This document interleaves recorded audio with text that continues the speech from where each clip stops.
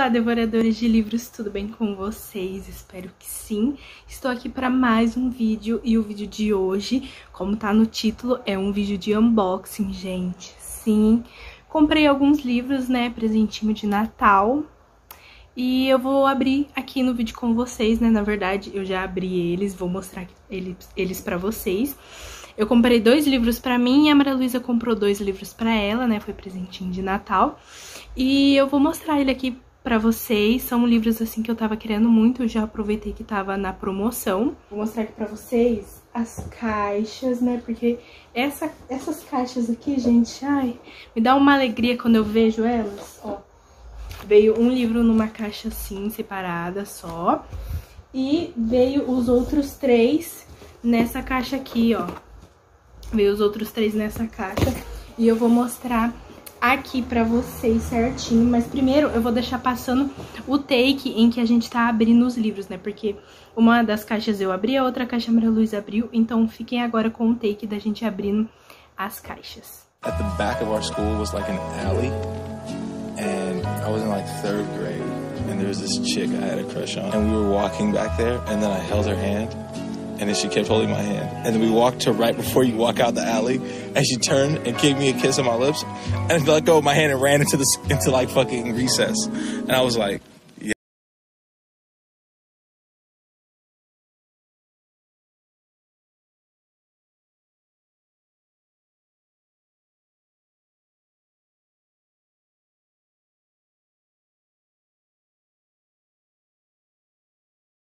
Bom, gente, no, no primeiro take vocês viram que eu abri o livro A Garota do Lago, né? Que foi o que veio na caixa separada. Esse livro é do autor Charlie Donley. Será, sei lá como se pronuncia o sobrenome dele, gente. Mas esse livro tava super na promoção lá na Amazon. Ele tava por 11 reais e é um livro, assim, muito grande e que é uma história assim que eu achei muito interessante, eu fiquei doida para comprar. Inicialmente eu ia comprar só ele, só que aí eu acabei vendo que o outro livro que eu peguei também estava na promoção. E esse livro assim, gente, ele vai falar de uma garota que ela assim não tinha inimigos nem nada, ela era super de boas com as pessoas, ela, as pessoas agiam normal com ela, ela era totalmente sociável, falava com todo mundo e não tinha inimigos. Só que aí num dia assim aleatório, ela vai aparecer morta nesse lago, né? E o detetive tem que fazer toda uma investigação para saber o porquê que mataram ela, o se tinha alguma rixa, alguma coisa, o porquê, o motivo de terem matado essa garota, né? O personagem principal que acabou morrendo, se eu não me engano, chama Becca, né? Que é uma estudante de.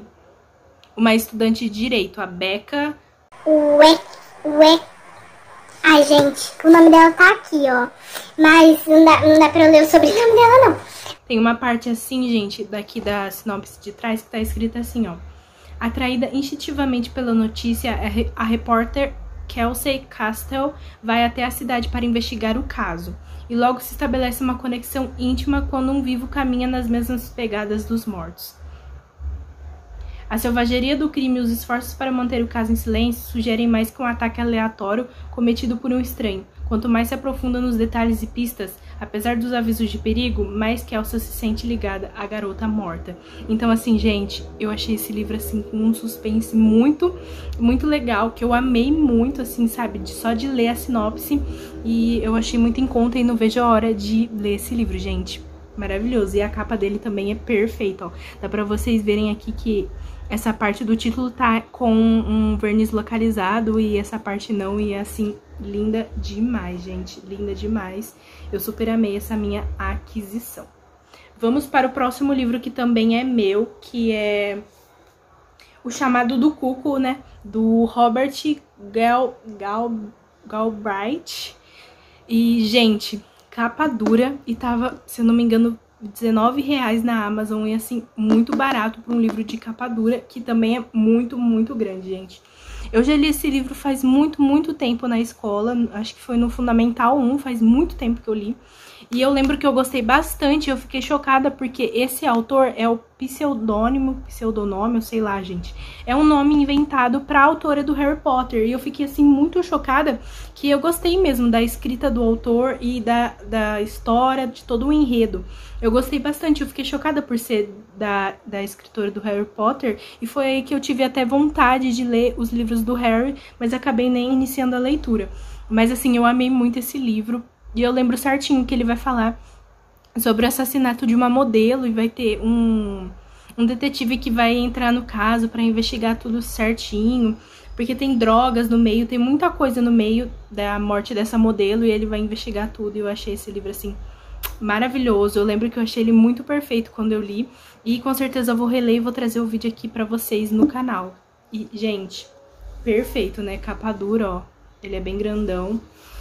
Aí aqui assim, ó, tem a, algumas partezinhas escritas, né, de alguns lugares, o The Times, o Daily Mail, o Publish Weekly. Gente, muito lindo. Aí abrindo aqui, ó, tem essa essa esse papel aqui azul que eu achei maravilhoso. A folha dele é um pouco grossinha, gente. Ela, essas folhas assim do começo, sabe? São bem grossinhas e perfeito demais. Esse livro é maravilhoso e vou trazer sim resenha para vocês. Esses foram os meus dois livros. Agora temos dois livros da Maria Luísa. O primeiro, que é o que eu sei mais sobre porque eu acabei assistindo o filme, é Me Chame Pelo Seu Nome, né? Ele vem com essa jacket aqui, que é só um pedacinho de papel. Ela nem é a folha inteira, ela é só um pedacinho do filme, né? Relacionado ao filme. A gente assistiu o filme esse ano, se eu não me engano, e ele, assim, perfeito. A gente amou. A gente ficou um pouco boiando, mas amamos muito o filme e a Maria Luísa logo já quis o livro. E ela também vai, de, vai, vai, deixar eu ler, com certeza, né, gente? Porque eu vou querer, sim, saber muito. Vou tirar a jacket aqui pra vocês verem como a capa é. A princípio, a gente não tinha achado a capa sem, é, sem a jacket, né, bonita. Só a capa mesmo a gente não tinha achado bonito. Só que aí, pessoalmente, ela é muito linda, gente. Ela é muito gostosa de pegar, sabe? Essa lombada dela também, ó, é muito, muito linda. Aí tá aqui, ó. Você vê a pessoa, mas não a enxerga de verdade. Ela simplesmente está por ali. E você fica lutando para aceitar algo que, sem que você soubesse, vinha ganhando forma bem debaixo do seu nariz, trazendo consigo todos os sintomas daquilo que só pode ser chamado de desejo. Como eu não, Como eu não percebi, sem reconhecer o desejo. Desta vez, no entanto, tinha passado completamente despercebido. Tudo que eu queria era pele, apenas pele. E, gente, maravilhoso. Não vejo a hora de ler também esse livro, né? E ele vai falar sobre um menino, né? Que ele. Eu não sei explicar muito, gente, mas vai falar sobre um garoto que vai acabar se apaixonando por um outro e tal. Tem todo o um negócio de aceitação, de, de, de se manter com a pessoa, da pessoa estar do seu lado e tal. Então, assim, maravilhoso demais esse livro. Também tô muito ansiosa para ler. E, assim, perfeito a capa, né, gente? Olha aqui atrás. Que bonitinho. Tem esse tomzinho, ó de, de um rosinha bem, bem clarinho, assim, maravilhoso, gente, maravilhoso mesmo. Perfeito, gente, perfeito. Também pretendo trazer vídeo aqui no canal. Ele dá pra trazer livro versus filme, né, gente, porque tem filme. E o último livro do, do unboxing é O Verão que Mudou a Minha Vida, da Jenny, Jenny Han. Jenny Han. A capa dele também é muito linda, né, gente? Olha aqui. Todo com com as conchas e tal. E aqui no título, não sei se dá pra vocês verem, ó. Ó, na luz dá pra ver. Ele é aquele verniz areado, sabe? Então você passa a mão assim, é uma delicinha. E a, a, a Maria Luísa que escolheu esse livro que tinha mais em mente e ela me falou um pouquinho sobre o que vai falar. Se eu não me engano, ele é de uma trilogia, né? A trilogia, tri, trilogia do verão. E pelo que ela disse para mim, parece que a personagem principal vai estar passando, né, pelo verão e aí esse vai ser o melhor verão da vida dela, porque algumas coisas que ela almejava vão acabar acontecendo, né, relacionadas a a crush, né, ao garoto que ela gosta, relacionadas a se sentir bem e tal. Então, pelo que ela me disse, foi mais ou menos isso.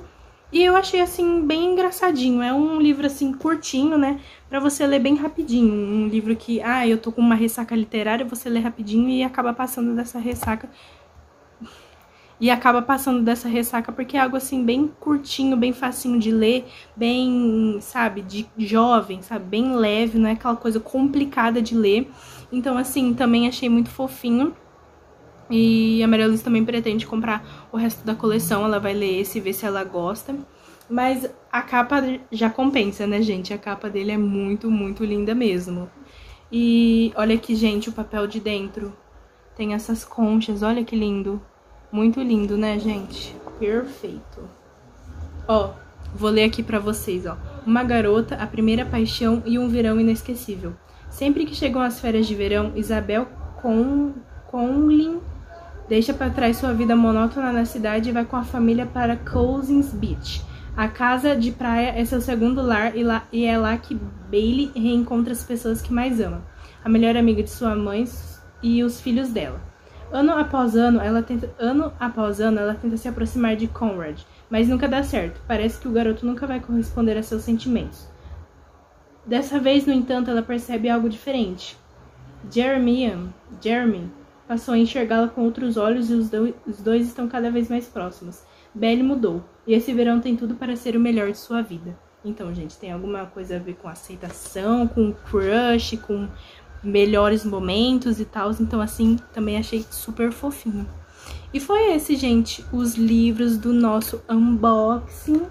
Foi um, um, um vídeo mais curtinho, com poucos livros, mas eu quis trazer pra vocês, né? Porque eu gosto de registrar os livros que eu compro aqui pra vocês. E chegou super rapidinho, gente. Chegou antes do Natal e foi super, super rapidinho. E eu super amei, né, gente? Quem não ama abrir um pacote da Amazon. Foi esse, gente, nosso unboxing, os nossos quatro livros novos. E eu vou trazer, sim, um bookshelf tour atualizado da minha estante, porque tem muito, muito livro novo, então eu preciso trazer, sim, um bookshelf tour atualizado. Mas então foi esse o vídeo, gente. Espero que vocês tenham gostado. Foi um vídeo mais rapidinho e tal, mas espero mesmo de coração que vocês tenham gostado. Deixem muito, muito like e se inscrevam no canal pra vocês não perderem. Eu vou, posso trazer mais unboxing, mais resenha, mais livro versus filme. Vocês sabem que eu amo gravar esses vídeos. E temos também vídeos de celular aqui no canal, então se você gosta desses dois nichos, ou se você gosta de livros, ou se você gosta particularmente de vídeos sobre celular se inscrevam, gente, porque vai ter muito, muito, muito, muitos mais vídeos pra vocês assistirem. E compartilhem o vídeo e o canal com os amigos, porque eu estou rumo, né, estamos rumo aos 400 inscritos. Então compartilhem com todo mundo, compartilhem com os amigos, com os inimigos, compartilhem com geral aí, pra todo mundo se inscrever no canal. Mas foi isso, um beijão e até o próximo vídeo. Tchau!